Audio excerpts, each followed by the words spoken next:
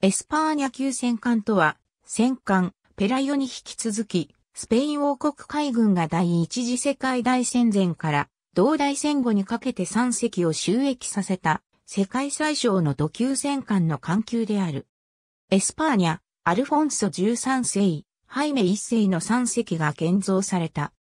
このクラスは1908年に米西戦争から敗戦の痛手が癒えつつあったスペインが非効率な海軍工廠に英国の資本を導入することによってスペイン海軍再建を目指したフェランディ、スカイ軍法案によって計画されたもので、設計、資材、兵装をイギリスからの輸入に頼った。そのために3番艦のハイメ一世は1912年5月に寄港したが、第一次大戦の勃発により資材調達ができず、建造が中断した。1919年に再開、1922年にようやく竣工した。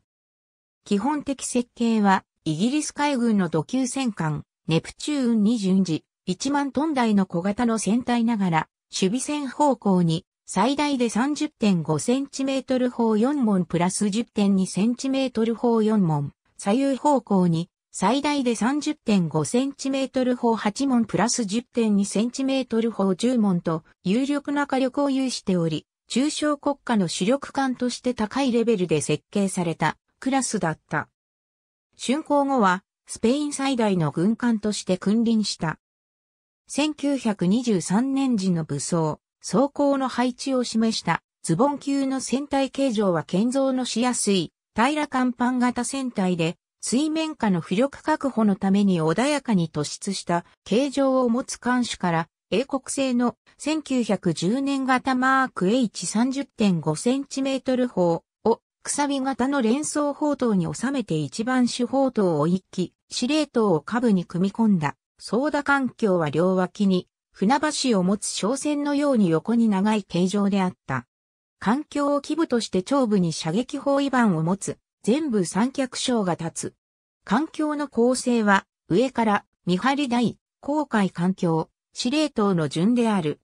二番手砲塔は、船体中央部の右舷側に前向きに一機が配置し、中央部に一本煙突が立ち、船体中央左舷側に三番手砲塔一機を後ろ向きに配置した。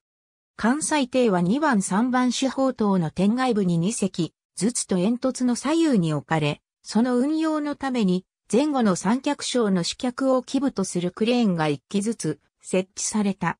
後部甲板上に後部三脚章が立ち、頂上部に見張り所と単焦灯台が配置された。その後に後部環境を挟んで後部甲板上に4番四砲塔を後ろ向きに1機を配置した。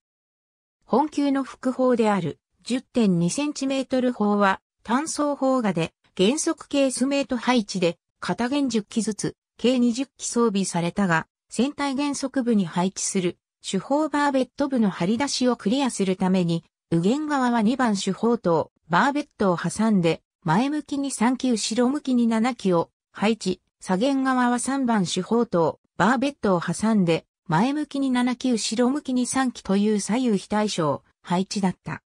なお、外洋航行時は開口部から波浪が吹き込むのを防ぐために、副砲は船内に引き込み、開口部の下部についた蓋を引き上げれば外面はフラットになるという設計元のイギリス海軍でさえ言っていない凝った偽装を採用していた。完備には艦長必要のスターンウォークが設けられた。手法はイギリスはビッカーズ社製の1910年型マーク H30.5cm 砲を採用した。その性能は重量 386kg の砲弾を最大行角15度で射程18,300メートルまで砲弾を届かせる能力を持っていた。これを新設計の連装式手砲塔に収めた。砲塔の旋回は守備線方向を0度として1番4番手砲塔の車界は150度。2番3番手法塔の車界は左右原則方向を0度として左右90度だが反対弦方向へは上部構造物による制限のため左右40度に制限されていた。俯仰角度は仰角15度、俯角5度で毎分1から1.5発で発射できた。1937年のエスパーニャ。副砲は原型となったネプチューンと同じ口径の 10.2cm 速射砲を採用した。その性能は 14.06kg の砲弾を最大仰角15度で射程1万610メートルまで砲弾を届かせる能力を持っていた。不行角度は行角15度、不角5度で、左右の旋回角度は150度で、方針の上下、旋回、装填には人力を必要とした。発射速度は毎分6から8発である。これを前述の通り単装砲画で20機を配置したが、後に航空機の進化に伴って、片弦4機ずつ、計8機を撤去し、この浮いた重量を使って、7.6センチメートル広角砲を単装砲画で1番4番手砲塔の上部に1機ずつ、計2機を配置した。後に、スペイン内戦でフランコ側に属したエスパーニャは、高角砲をドイツ製8.8センチメートル高角砲に換装し、煙突の左右舷側甲板上に片舷2機ずつ、計4機と1番4番主砲塔天蓋部にドイツ製2センチメートル機銃を単装砲架で1丁ずつ計2丁配置した。1937年のハイメ一世。一方、政府側のハイメ一世は7.6センチメートル広角砲を煙突の左右に単装片弦1機ずつ計2機配置し、追加で4.7センチメートル単装広角砲を1番4番、主砲塔天外部に1機ずつと左右原則上に1機ずつの計4機配置した。本級の機関は、ヤーロー式石炭、重油根小水管管を並列3機4列で計12機にパーソンズ式の直結型タービンを採用。タービンの構成は高速型タービン2機と低速型タービン2機の計4軸推進で最大出力 15,500HP、最大速力19.5ノットを発揮した。燃料消費量から航続性能は速力10ノットで7500回里を航行できた。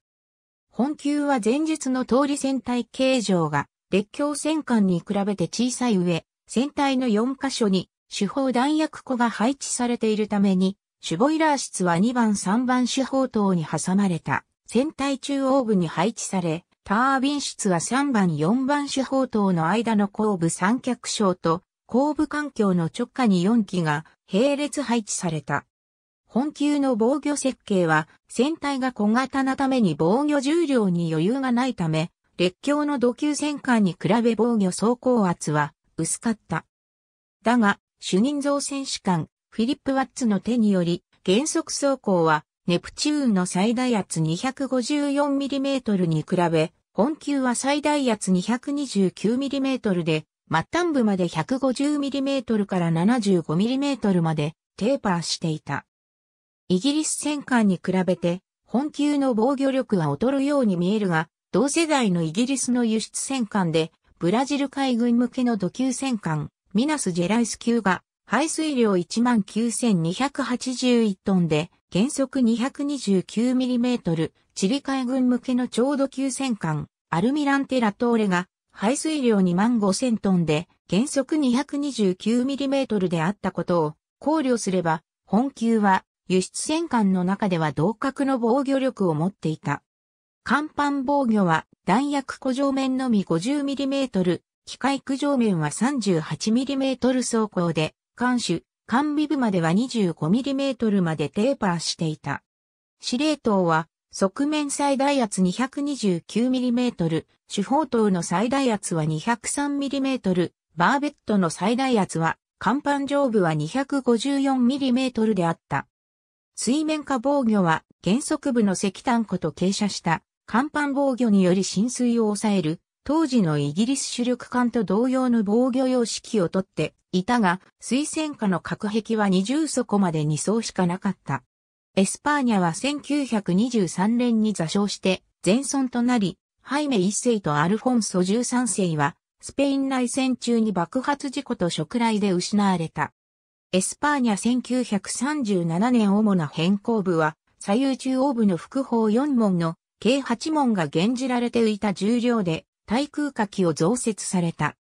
8.8cm 単装高角砲は、煙突の左右上甲板に2機ずつ4機と 20mm、機銃2丁1丁ずつを1番4番、主砲塔天蓋部に配した。